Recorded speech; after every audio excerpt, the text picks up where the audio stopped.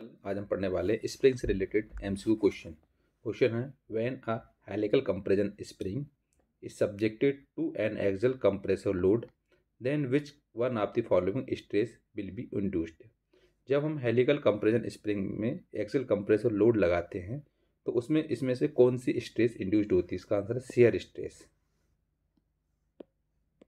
अगला क्वेश्चन है two helical tensile springs of the same material and also having identically main coil diameter and weight have wire diameter d and d by 2 the ratio of their stiffness is दो helical spring helical tensile spring है helical tensile spring जो कि same material के बने हुए हैं जिसमें main coil diameter और उसका वेट जो है वायर का diameter D and D by two है सो so, इसका रेशियो स्टिफनेस कितना होगा? इसका आंसर है सिक्सटी फोर इसको सॉल्व करेंगे। क्योंकि डेफ्लेक्शन का फार्मूला था sixty four P R Q N upon G D base two four या पी की जगह पे लोड जो है लोड यहाँ पर पी है इसको हम डब्ल्यू भी ले सकते हैं। प्रेशर है यहाँ पर तो P R S two Q ले लिया इसमें। तो del equal to sixty four P R two Q into N upon G D base two four अगर डेफ्लेक्शन इसका हम पी अपॉन डेल कर दें इसको तो इसका कितना हो जाएगा? G D wish two four upon sixty four R wish two Q into N हो जाएगा। स्टिफनेस के होता है प्रति कितना? D wish two four upon N का। तो since wire diameter is the same so since wire diameter is the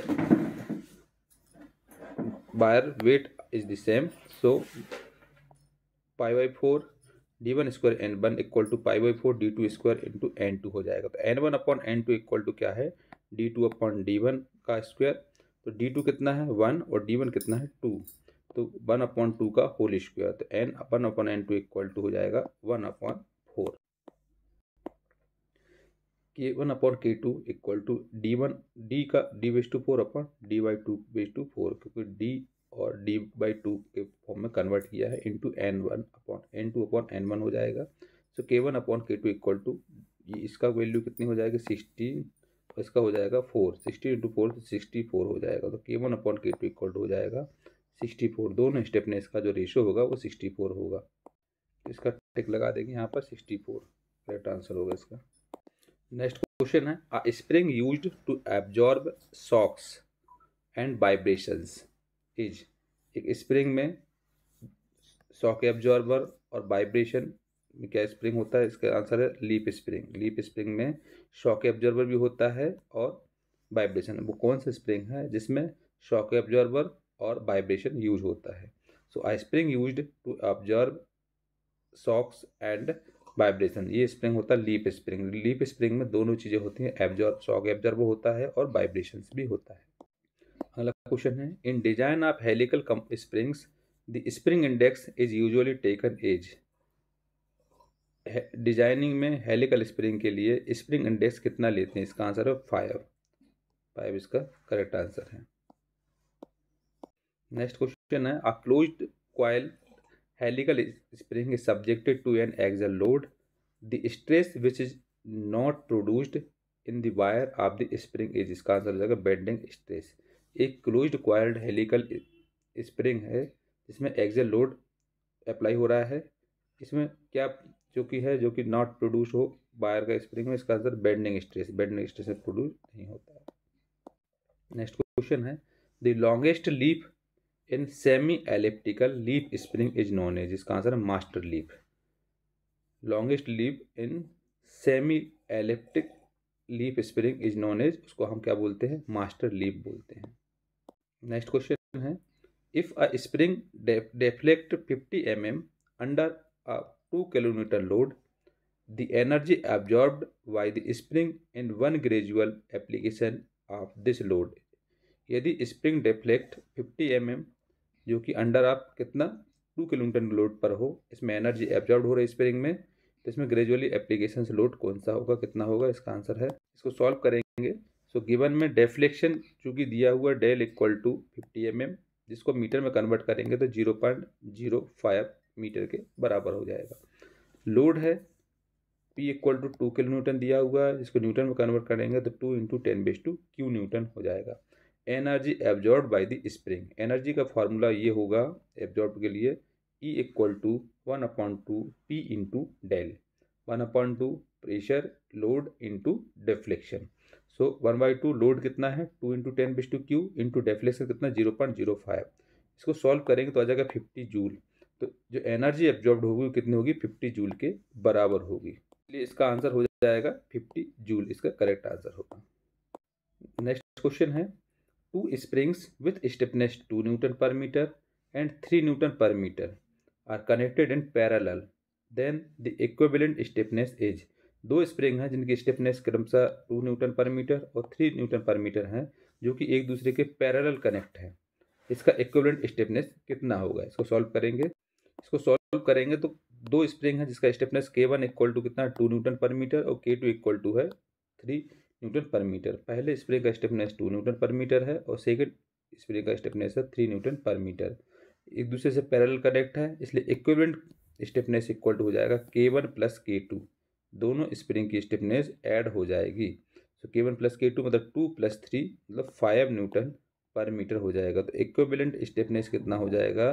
K equivalent equal to five newton per metre. इसका आंसर हो जाएगा फाइव इसलिए इसको मार्क कर देंगे फाइव न्यूटन पर मीटर। इसका करेक्ट आंसर होगा। नेक्स्ट क्वेश्चन है। For the shown figure diagram देख करके if K one equal to ten newton per metre K two equal to twenty newton per metre. And theta equal to 30 degree. Then equivalent stiffness of the system will be newton per meter. आप जो कि diagram देखोगे diagram में देख करके यदि K one equal to दिया है टेन न्यूटन पर मीटर और के टू इक्वल टू दिया है टू न्यूटन पर मीटर मतलब इस डायग्राम में जो दिया है के वन दिया है ten newton per metre K one की वैल्यू कितनी दी है? टेन न्यूटन पर मीटर और के टू की वैल्यू कितनी दी है? Twenty newton per metre. इसमें जो एंगल है इसका थीटा एंगल है थीटा इक्वल टू कितना है? थर्टी डिग्री है। तो इसका इक्विवेलेंट स्टिफनेस कितना होगा? ये निकालना है। सो so, डायग्राम में ये डायग्राम दिया हुआ है। इस डायग्राम में के वन इक्वल टू दिया है टेन न्यूटन पर मीटर और के टू इक्वल टू दिया है twenty newton per metre theta equal to दिया थर्टी डिग्री तो इसका इक्विवेलेंट स्टिफनेस कितना न्यूटन पर मीटर होगा? इसको सॉल्व करेंगे। तो सॉल्व करेंगे आंसर करेंगे stiffness of the system in parallel parallel में क्या हो जाएगा? इक्विवेलेंट स्टिफनेस कितना हो जाएगा? K equivalent equal to K one plus K two हो जाएगा। दोनों ऐड हो जाएँगे। सो पैरेलल में है दोनों एक दूसरे से। तो जब पैरेलल में होते हैं तो उसमें क्या होता है? दोनों ऐड हो जाते हैं। तो के वन टेन है और के टू ट्वेंटी है। तो टेन प्लस ट्वेंटी कितना हो जाएगा? थर्टी न्यूटन पर मीटर तो इक्विवेलेंट स्टिफनेस कितना हो जाएगा? थर्टी न्यूटन पर मीटर इसका आंसर हो जाएगा। इसका आंसर हो जाएगा thirty newton per metre next question है a helical spring is made of twelve M M diameter wire wire bending it on a one twenty M M diameter mandrel if there are ten active turns and modulus of rigidity of material is eight point two into ten base two four newton per metre the spring constant will be एक helical spring है, जिस, जो कि बना हुआ है twelve M M dia wire का diameter है उनका, और बाइंडिंग है जिसमें कि उसका डायमीटर कितना है मैंड्रल का वन ट्वेंटी एम एम यदि यदि इसमें टेन एक्टो टर्न हो तो मॉडुलस ऑफ़ रिजिडिटी इसमें कितनी दी हो? Eight point two into ten bis two four इसका स्प्रिंग कांस्टेंट कितना होगा? तो इसके लिए क्या करेंगे हम? इसको क्वेश्चन में दिया है हेलिकल इसमें वायर का डायमीटर कितना दिया है? ट्वेल्व एम एम और मेन डायमीटर दिया है उसका one twenty M M number of active terms दिया हुआ टेन मॉडल्स ऑफ़ रिजिडिटी दिया है eight point two into ten base two four तो इसमें इसमें आपको स्प्रिंग कांस्टेंट निकालना है स्प्रिंग कांस्टेंट कितना होगा। सॉल्व करेंगे। सॉल्व करने पर वायर का डायमीटर कितना दिया है? Small D equal to twelve M M equal diameter main diameter कितना दिया है? Capital D equal to one twenty M M number of active turns at N equal to ten और modulus of rigidity G equal to है eight point two into ten base to four newton per M M spring constant आपको निकालना है K equal to जो कि formula होता है K equal to G D piece to four upon eight D cube N तो G की value हम पुट कर देंगे ये eight point two into ten base to four और डी जो दिया है ये कर देंगे ट्वेल्व यहाँ पर ट्वेल्व पुटअप कर देंगे और अपॉन एट जो तो रहेगा कैपिटल डी जो दिया है, ये दिया है वन ट्वेंटी तो one twenty into ten base to को पुटअप कर देंगे into number of active turns ये दिया हुआ टेन तो टेन पुटअप कर देंगे। इन सबको वैल्यू पुट करने के बाद इसको जब हम सॉल्व करेंगे केलसी से तो आंसर आ जाएगा twelve point three newton per M M तो इसका जो स्प्रिंग कांस्टेंट है, वो कितना आ जाएगा twelve point three newton per M M इसमें ये ऑप्शन दिया नहीं, इसलिए इसका आंसर ये वाला होगा राइट आंसर होगा कि equal to twelve point three newton per M M इसमें इन ऑप्शन में कोई भी क्वेश्चन में दिया नहीं इस ऑप्शन में। इसलिए इसका answer twelve point three newton per M M होगा। नेक्स्ट क्वेश्चन है free length for helical compression spring having helical compression spring का फ्री लेंथ का फार्मूला क्या हो? तो इसका सॉल्यूशन है free length of helical compression spring having square ends is given by for free length हो जाएगा एल एफ़ जो कि फार्मूला होता है L zero equal to P N plus three D होता है, जहाँ पर पी एन होता है नंबर ऑफ़ पिच और एन होता है डी होता है वायर का डायमीटर तो फ्री लेंथ का फार्मूला हो जाएगा। एल एफ़ भी ले सकते हैं या फिर एल ज़ीरो भी, या फिर एल ज़ीरो से भी नोट कर सकते हैं, जो कि होता है P N plus three D ये इसका फार्मूला होता है। या पी एन होता है नंबर ऑफ़ पिच और डी होता है वायर का डायमीटर इसका आंसर हो जाएगा P N plus three D correct answer होगा इसका। नेक्स्ट है a simple spring mass vibrating system has a natural frequency of N if the spring constant is halved and mass is doubled, then natural frequency will become. एक simple spring है mass vibrating system है, जिसकी natural frequency N है। यदि spring stiffness इसका हाल हो और मास इसका डबल कर दिया जाए मतलब स्प्रिंग स्टिफनेस आधी कर दी जाए और मास डबल कर दिया जाए तो इसका नेचुरल फ्रिक्वेंसी कितनी होगी? इसका सॉल्यूशन करेंगे।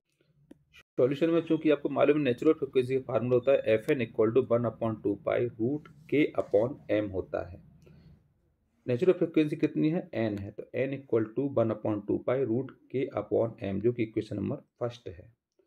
Given if spring stiffness is halved and mass double इसमें अगर स्प्रिंग स्टिफनेस आधी कर दी जाए और मास को डबल कर दिया जाए तो क्या हो जाएगा? F N equal to one upon two pi root K upon two हो जाएगा और अपॉन टू एम हो जाएगा, क्योंकि हम के की जगह पर क्या कर रहे हैं, के अपॉन टू कर रहा है। ये हॉल्ड हो रहा है स्टिफनेस और एम की जगह पे क्या लिखना है, टू इंटू एम मतलब मास डबल करना है। तो के की जगह पे ये पुटअप कर देंगे और एम की जगह पे ये पुटअप कर देंगे फार्मूले में, सेम फार्मूले में। तो F N equal to one upon two pi root K upon M हो जाए, K upon two upon two upon M. Solve करेंगे इसको तो एफ़ एन इक्वल टू हो जाएगा one upon two pi root K upon four M के बराबर हो जाएगा इक्वेशन नंबर सेकंड तो ये इक्वेशन फ़र्स्ट है इक्वेशन सेकंड अब from equation first and second को सॉल्व करेंगे तो N upon F N equal to one upon two pi root K upon M है ऊपर वाला, और नीचे one upon two pi root K upon four M है। इसको सॉल्व करेंगे अगर हम सॉल्व करने पर ये पूरा कैंसिल हो जाएगा के से के कैंसिल हो जाएगा रूट से रूट कैंसिल हो जाएगा एम से एम कैंसिल हो जाएगा। तो यहाँ बचेगा एन वाई टू आ जाएगा यहाँ पर। अगर इसको रूट से बाहर निकालेंगे तो कितना आ जाएगा? टू आ जाएगा बाहर। इसको आ जाएगा एन वाई टू तो F N equal to natural frequency कितनी हो जाएगी? एन वाई टू के बराबर हो जाएगी।